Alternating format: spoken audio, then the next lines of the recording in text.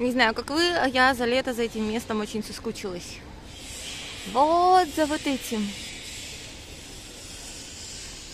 За Старомаком. Но сегодня будет не Старомаке, сегодня будет нечто другое. Я не собиралась снимать вообще, в принципе. У нас очень много пока дел, и идет сильный дождь уже третий день такой. Но сегодня хотя бы вот я сейчас иду, сейчас он не идет. А так третий день подряд дождь. Просто вспомнила. Мне YouTube, поскольку, поскольку я снимаю о Праге, мне YouTube выдает рекомендации, типа, посмотрите топовые каналы, которые снимают о Праге, бла-бла-бла. Ну, в общем, я два а, канала посмотрела, там было что-то около, на одном около 200 тысяч просмотров, а на втором что-то тоже около этой, этой же цифры. Самое интересное, что ни один, ни второй, там какие-то трехдневные экскурсии не дошли до Орлоя. А Славянский остров и один, и второй снимали, и Славянский остров называли Бобровым островом. Причем они не видели никаких зданий на этом острове, а только нутри, которые там живут. Ну, в общем, это все было очень развлекательно. Поэтому, оказавшись на Старомаке, я решила вам показать, что существует Старомак. Ну, у меня все зрители умненькие, разумненькие, замечательные, самые замечательные зрители на свете. Поэтому, конечно же, не знаю, что существует. Орлой, Старомак. Я вам сегодня расскажу о национальной чешской еде. Вот действительно о национальном чешском перекусе, скажем так. И если все пойдет удачно, то сниму крафтовое кафе. А у меня просто Тори сегодня пересдает, она сильно болела и не могла ходить на хор. Вот она сегодня пересдает свой хор, поет там. И если все пойдет удачно, мы будем есть крафтовые пирожные. Если пойдет неудачно, мы все равно наедимся крафтовых пирожных. Вот так.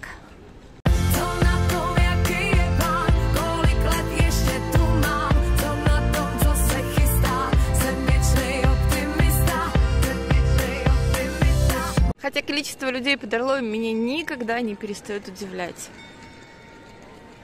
Я успею на петушка.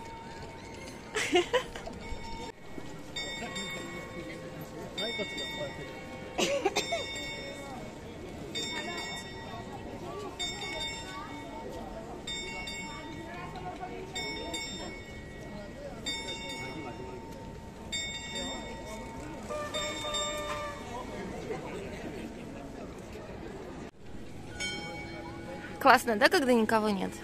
Но это я достаточно рано, поэтому туристы, вся основная масса смотрит на Орлой. Обычно тут такая же масса днем смотрит на Орлой, а вечером ходит еще и здесь. Прекрасный Тынский храм. Мне дойдет когда-нибудь ход о нем рассказать. Мне ужасно жалко, что мой телефон не вывозит вечерние такие вот сумерки в съемках. Потому что Тынский храм вечером это нечто. Нечто непередаваемо красивое. Время идет к тому, что день будет короче. Ах. Бесподобный Старомак. Люблю его. Хоть он и туристический, хоть, в принципе, но люблю. Покажу вам понятия как не имею, как тут кормят, но выглядит очень классненько.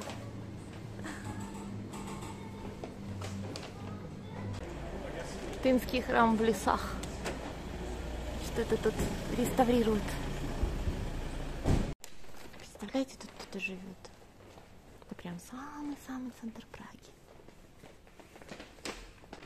Хотели бы так жить? Смотрите. Лестница какая крутая наверх. Вот, жилой дом.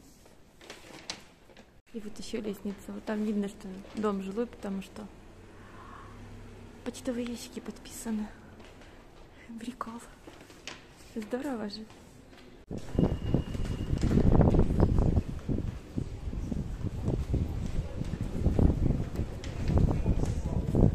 Давно не видела экскурсию, чтобы было не в наушниках, а просто чтобы он стоял и рассказывал. Здорово. Это тын.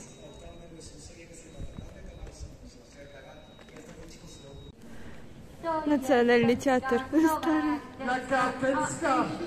Это либерские лагутки, и они находятся в поликлинике. Мы поедим. Вот это вот самая-самая национальная еда. Это хлебичек. Вот такие два хлебичка мы взяли.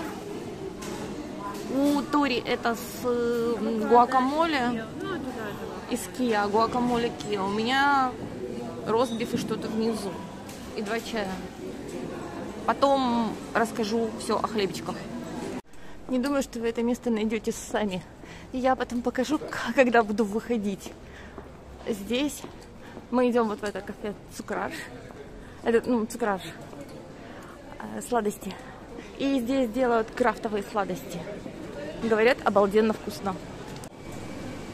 Добрый день!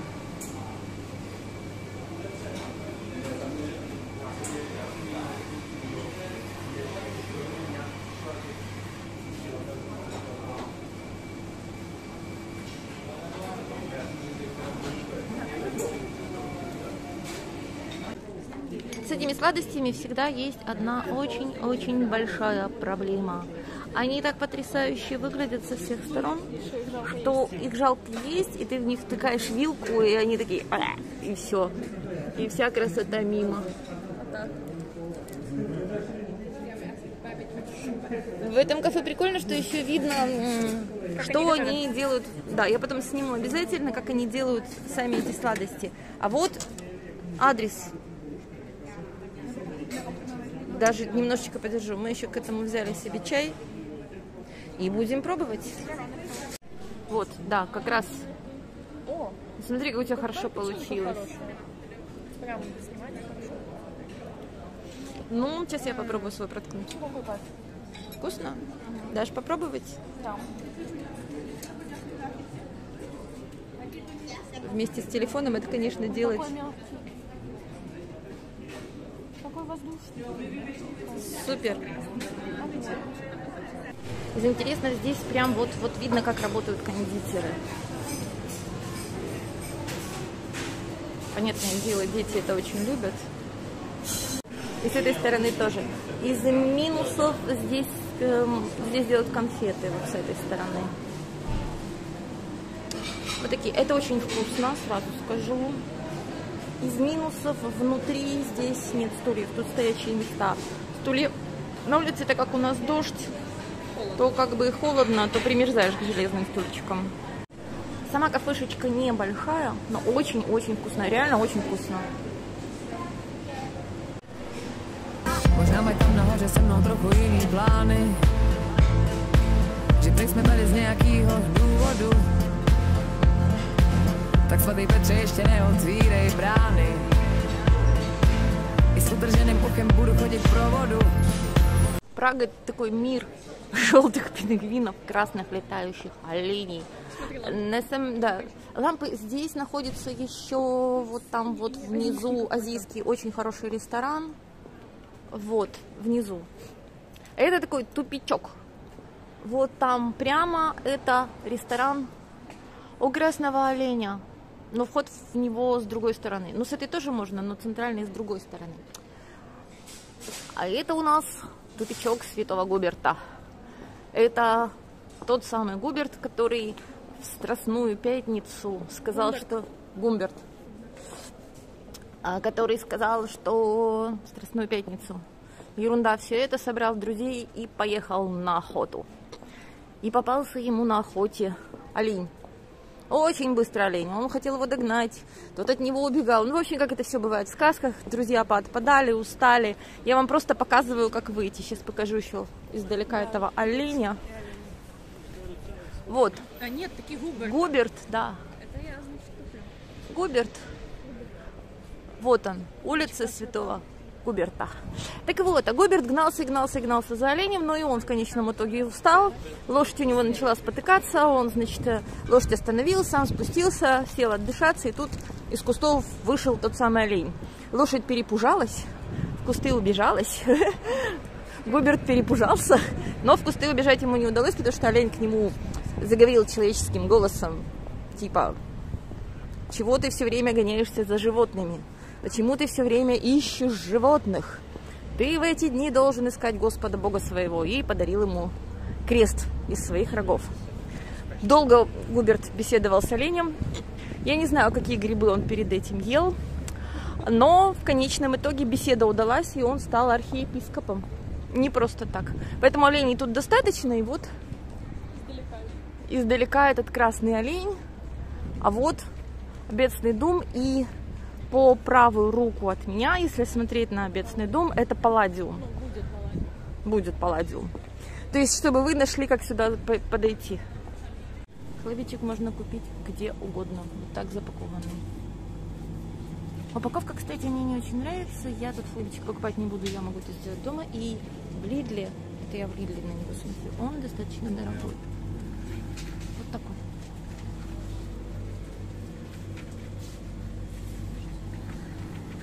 Понятия не имею, что у нас сегодня в Словакии, но здесь столько людей. А, похолодало, и люди просто, просто все здесь. Это Ингманово на Амнисти. Это вот Starbucks, за Старбаксом потом чай. И за чаем вот такой вот златый криш лагутки. Мы идем туда, и там продаются самые-самые вкусные хлебички. Вот так выглядит. Но мы очень поздно вечером, так что тут, тут и сладенькое продается. И вот они, хлебички крафтовые. Хлебичков мало. Еще калачи и там салаты. В общем и целом вот так она выглядит. Но тут мало уже всего осталось. Рекомендую. Так как там выбор небольшой, мы хотим найти какое-нибудь другое что-нибудь, где можно поесть. Но не поесть, перекусить. Есть мы уже дома, наверное, будем. И я расскажу, почему я, собственно, гоняюсь за этими а, хлебичками. Хлебичек, это вот, в отличие от тердельника, это исключительно чешская история. Потому что когда-то э, известный лагуткарш, гастроном, да, то есть реставратор, тот, кто вкуснехи делает, Ян Паукерт.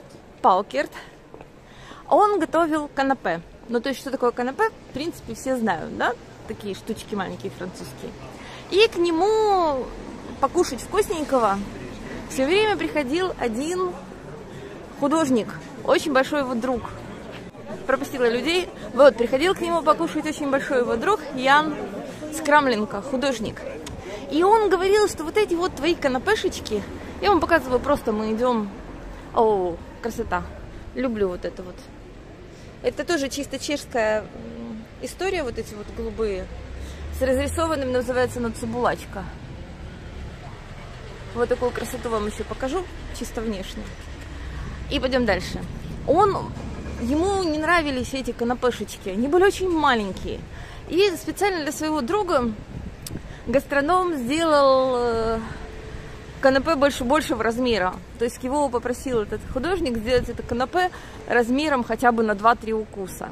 То, что сейчас у нас есть, оно еще больше, там, ну, примерно на 4 укуса. Но это исключительно чешская история. И когда этот ну, художник был достаточно известным, пытаясь показывать красиво, но не особо получается. Художник был известный, вот. И когда он кушал эти штучки, люди, которые приходили поесть в лагутке, они тоже хотели попробовать, что это. И, в общем-то, таким образом это стало очень-очень популярно. Мы бродим в старом городе, у нас где-то полчасика есть.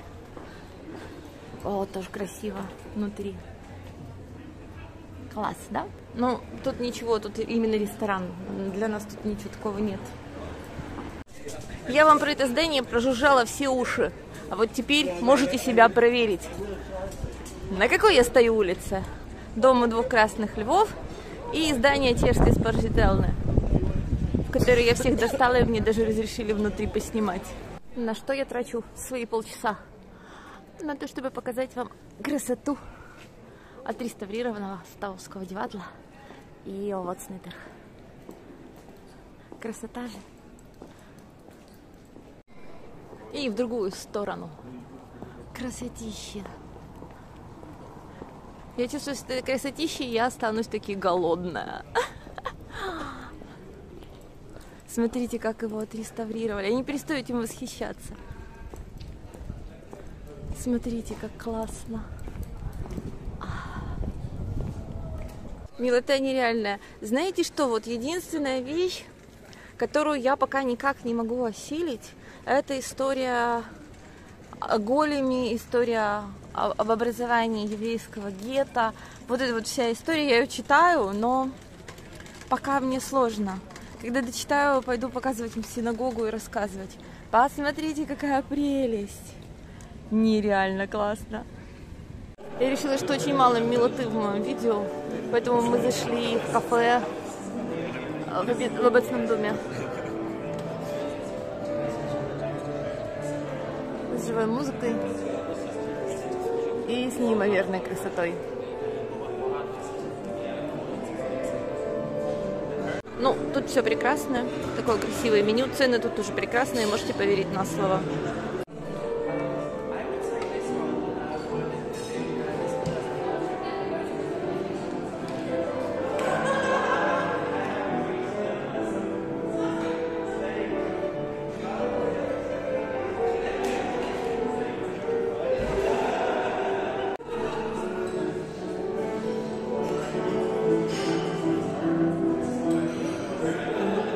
Тортик приехал. У них там ездить, смотри.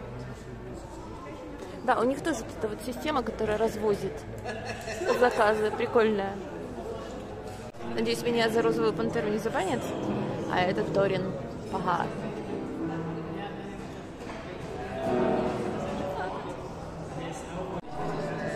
Видно гибернию.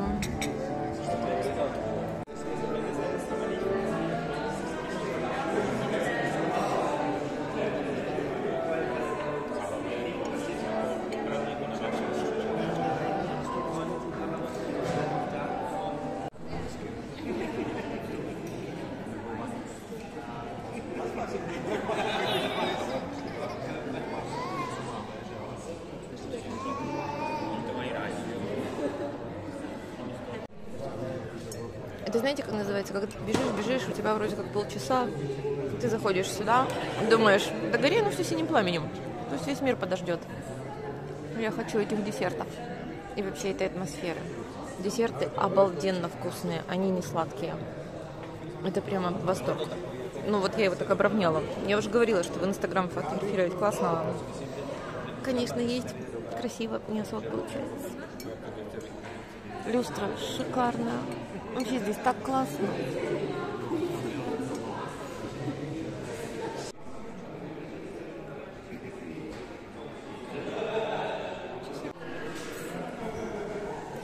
Красотище! В следующий раз мы пойдем в ресторан. Это мы были в кафе. Шикарно просто, настроение такое. Даже никто никуда не спешит, уже ничего не надо.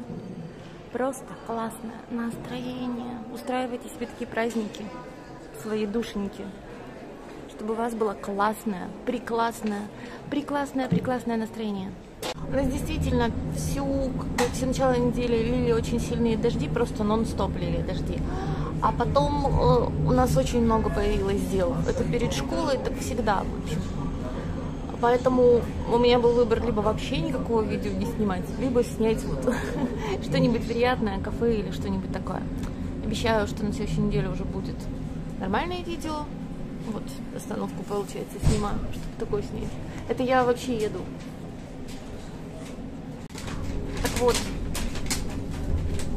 я решила, что лучше уж что-нибудь снять, чем ничего не снимать. Надеюсь, настроение вам подняла.